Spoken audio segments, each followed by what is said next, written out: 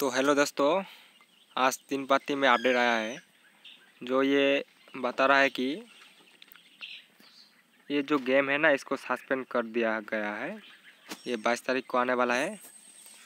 और आज जो अपडेट आया है ना, इसमें बोल रहा है कि सस्पेंड यानी कि ये ऐप बंद कर दिया है। सिर्फ़ एक दिन के लिए बंद कर दिया है। आप लोग फ़िक्र मत करो। आपके पास जितना पैसा है, उसको रहने दो। ये कल आ जाएगा। ये देखो। तो आज के लिए इतना ही।